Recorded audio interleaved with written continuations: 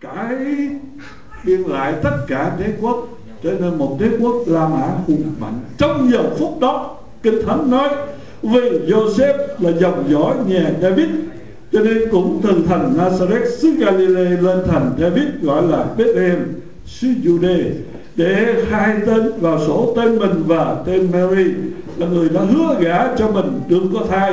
Đương khi, khi hai người ở nơi đó thì ngày sinh đẻ của Mary đã đến. Người ta đông lắm, nhưng mà không phải người ta đông vì có vui mừng. Không, người ta đông vì người ta phải đi khai. Nói thêm tiếng Việt, người Việt Nam mình hay nói những ba chục năm qua đó, đăng ký hộ khẩu. Chứ không có gì cả. Vì hoàng đế La Mã muốn nắm được cái nhân khẩu ở trong đế quốc La Mã hùng mạnh từ Âu Châu cho đến Trung Đông để thu thuế cho nên ra cái lệnh đó vì cái lệnh của hoàng đế La Mã như vậy mà nước Israel đương ở trong sự đô hộ của người La Mã. Cho nên Joseph Mary giàu là cặp vợ chồng, chỉ hứa hứa gả.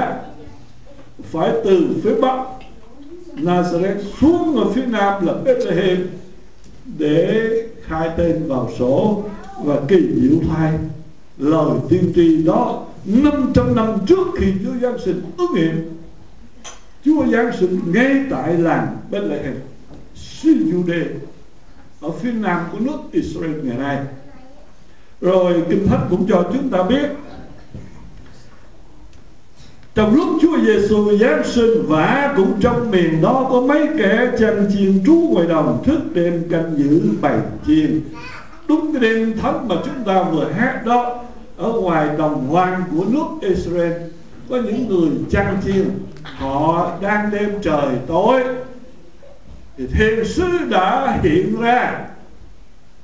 Thì tại vì chúng ta đang ở trong ban ngày cho nên tôi không thể diễn tả với quý vị biết làm sao để cái khủng khiếp của ban đêm. Hồi sáng tôi giảng ở Hickory tôi nói ờ, quý vị nào lớn tuổi từng ở Việt Nam cách đây chừng ờ, hai chục năm trở về trước phải không? À, à, nếu quý vị đi về Việt Nam bây giờ cũng vậy sẽ thấy cái cảnh cúp điện sẽ thê lương lắm phải không? Tối hay là tối thình lình, có ánh sáng hiện ra vinh hiển và kinh thánh nói những người chăn chiên sợ quá đi.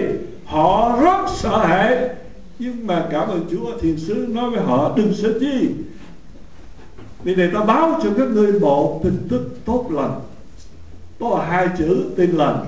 Không phải tin để làm lành. Tin lành là một tin tức tốt lành vì hôm nay tức là cái đêm mà chúng ta gọi là đêm thánh đó một đấng cứu thế đã giáng sinh đã làm người để chịu chết đền tội cho nhân loại. Đó là điều cảm ơn Chúa.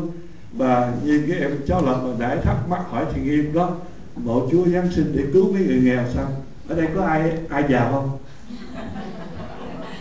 À, có một mình ông quay phim nó giàu thôi. Mà chắc cái tay ông mỏi á và cảm ơn Chúa. Chúa không phải giáng sinh cho mấy người nghèo mà thôi. Cũng có những nhà thông thái có thể là vua họ là những người học giỏi. Từ ở phương đông có thể là Iraq, Iran hoặc là Ấn Độ. Họ đã nhìn thấy ở trên trời cao có ngôi sao. Ờ, ở ở Mỹ sao tôi không có thấy ngôi sao cả? Họ sợ sao xẹt cái gì đó phải không? Nhưng mà ở Việt Nam mình thấy ngôi sao. Noel là phải thấy ngôi sao. Ở sao họ làm ngôi sao? Đó muốn nhắc lại rằng, khi Chúa Giêsu Giáng sinh trong đêm thánh nó có một vì sao lạ. Nó có ba bác sĩ, chắc họ ăn mặc huy hoàng hơn cái ba cái ông bác sĩ hồi nãy. Phải không? Ờ, họ từ xa xăm lắm, mà người ta tính rằng đoạn đường của họ đi đó, không phải đi máy bay. Phương tiện tốt nhất của họ là đi lạc đà thôi. Họ đi đến nơi Chúa Giêsu Giáng sinh cũng phải hai năm mới tới được vậy mà họ cũng vượt đường xa vượt nguy hiểm. Họ đến để thờ lại Chúa Giêsu vì họ biết họ biết đó là đấng thánh. Chỉ có Đức Chúa Trời thánh giáng sinh làm người đáng cho họ tôn thờ thôi. Đó là quan cảnh của Chúa Giêsu giáng sinh. Nhưng uh, cho phép tôi nói một điều. Trong đêm Đức Chúa Giêsu giáng sinh đó cách đây 2009 năm đó cũng có hai hạng người khác nhau đối với sự giáng sinh của Chúa Giêsu. Hạng người thứ nhất là đáng trách lắm. Thứ nhất là chủ quán hồi nãy Thầy nghiêm có nói qua một chút vì đêm Chúa Giêsu giáng sinh, Joseph là người cha nuôi của Chúa Giêsu nghề nghiệp của ông là thợ mộc. Ờ, thợ, quý vị đừng nghĩ thợ mộc của Mỹ nha không có liên quan gì cái vụ đó hết á. Ờ, nói nghe từ ngữ cho nó văn chương hơn ở Việt Nam là cái gì đó ờ, nội thất phải không? Ờ, furniture gì đó nội thất. Nhưng hồi đó ông Joseph đâu có giàu mà có một cái cái shop để mà kinh doanh những cái hàng nội thất đó không có theo ờ, phong tục của người Israel thời đó, những người làm thợ mộc là nghèo lắm nghèo lắm. Vì vậy không có tiền để trả cho những cái dịch vụ về khách sạn như thế, mà Chúa phải sinh ra ở trong chuồng chim bán cỏ. Nhưng mà cũng thật là kỳ diệu, phải không? Hồi nãy cái em lập có thắc mắc làm sao mà ờ, Chúa phải sinh ra trong chuồng chim bán cỏ mà không có sinh ra trong cái chỗ nào khá hơn tôi tin rằng quý vị ở đây sinh ra không có người nào ở trong máng cỏ trường chiên hết, phải không? Không có đâu. Nhưng mà Chúa phải chịu như vậy để bất cứ ai đến cũng được. Nhưng mà lỗi của ai? Lỗi của người chủ quán. Và trong thời gian đó có một vị vua, là vua Herod. Ông được cai trị trên nước Israel.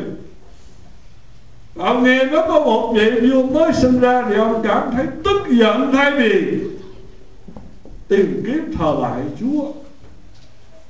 Cuộc đời của Herod đâu quý ông bà đọc lịch sử thì sẽ thấy đó là một vị vua mà khi ông chết đi, cả nước Israel ăn mừng á. Ăn mừng ông chết rồi tại vì ông tàn ác quá. Ông giết vợ, giết mẹ vợ, giết con. Nghe một người nào mà đụng đến chiếc ngai vàng thì giết chết tôi mong rằng không ai làm vua hết trên tối nay, chiều nay, phải không? Và đó là những người thật đáng trách đáng trách. Nhưng bù lại, chúng ta cũng cảm ơn Chúa có hạng người thứ hai mà chúng ta chiều hôm nay thật sự đáng học. Đó là những người chăn chiên, mặc dầu họ rất nghèo hèn.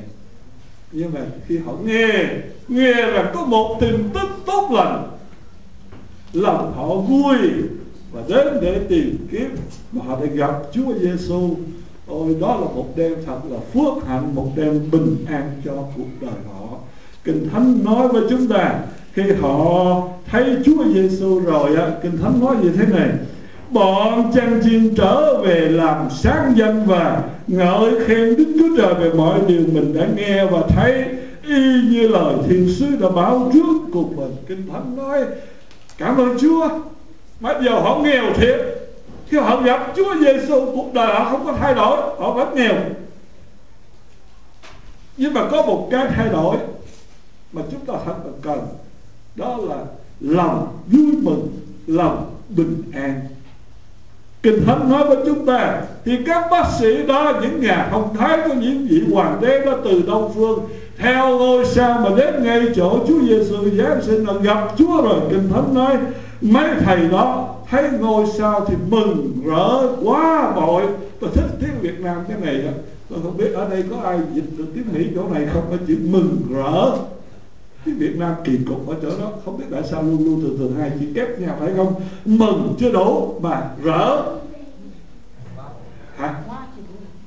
Bày tỏ ra, phải không? Bày tỏ ra. Bên ngoài cũng thấy được niềm vui của mình á mấy thầy đó, mấy nhà thông thái đó, các quần vua đó, họ thấy Chúa Giêsu rồi mừng rỡ quá bội.